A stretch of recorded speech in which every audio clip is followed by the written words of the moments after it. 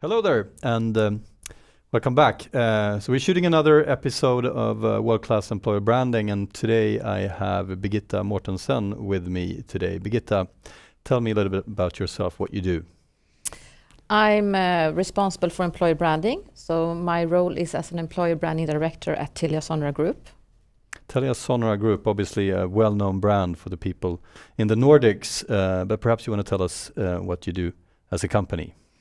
We provide network access and telecommunication services in the Nordics, Baltics, and Eurasian markets. Eurasia, which countries typically? Eurasia is uh, Kazakhstan, Uzbekistan, Moldavia, Georgia, and uh, others. And how many employees are you?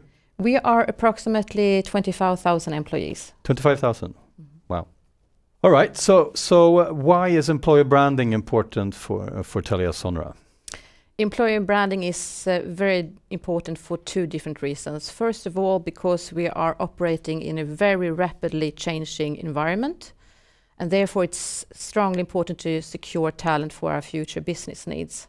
And secondly, of course, to build a position as an attractive employer in accordance and in line with what we actually want as employer.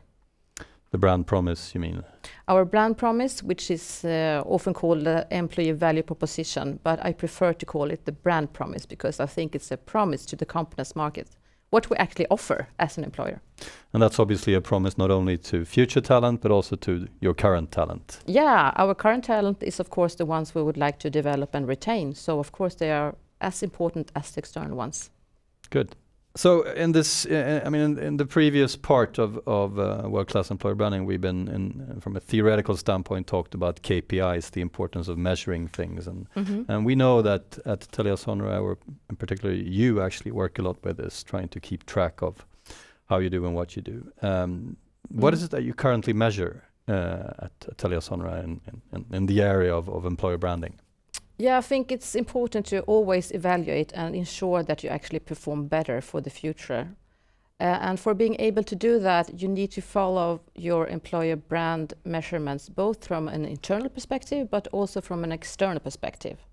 And first of all, if we talk about the external perspective, uh, to follow the attractiveness, uh, I think it's important to follow the rankings, of course, but what we have done is that we have developed a KPI that is corresponding to our employee value proposition, the brand promise. So we have actually chosen associations that we know drives attractiveness and combine those to a customized index that corresponds to what we would like to achieve for the future. Interesting.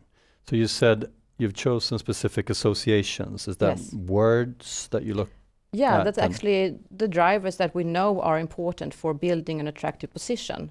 And we know which, which one, which position we actually would like to have. Mm. And according to that, we have chosen those ones. And those are the ones and the keywords we would like to focus on in our message to the market. And is that the same position all across the world for you, or it, do you look for different positions in different markets?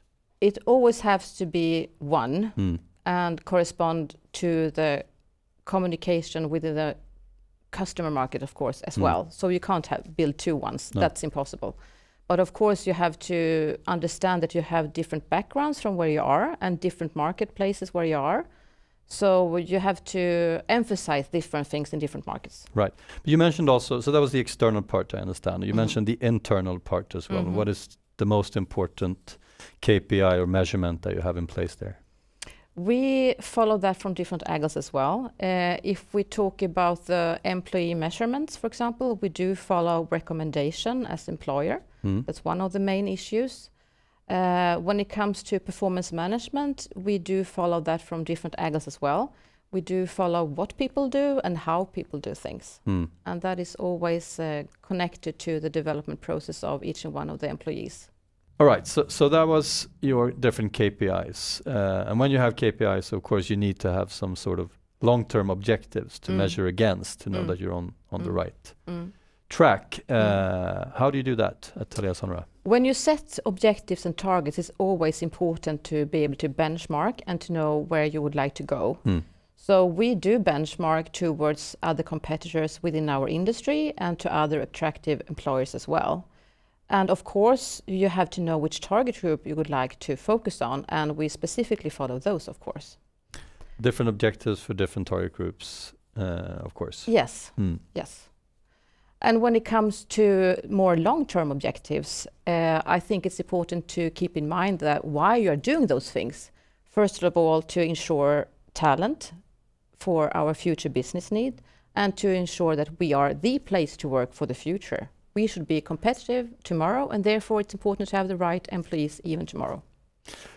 And I guess given that you operate in a relatively or very complex world, which is Mm. changing on a daily basis, that Yes. task, Mm. knowing what you need three or five years down the road, is Mm. is complex, I guess.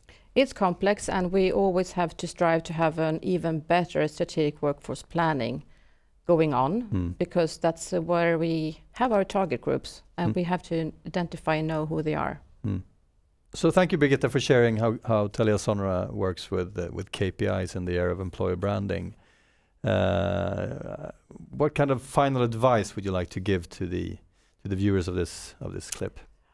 I think that uh, my final advice is to make sure that you really, really have a strong connection between where you would like to go, your employer brand promise or employee value proposition, and what you actually measure. Not only go for rankings, but actually make sure that you create a measurement that actually measure what you would like to achieve. Thank you.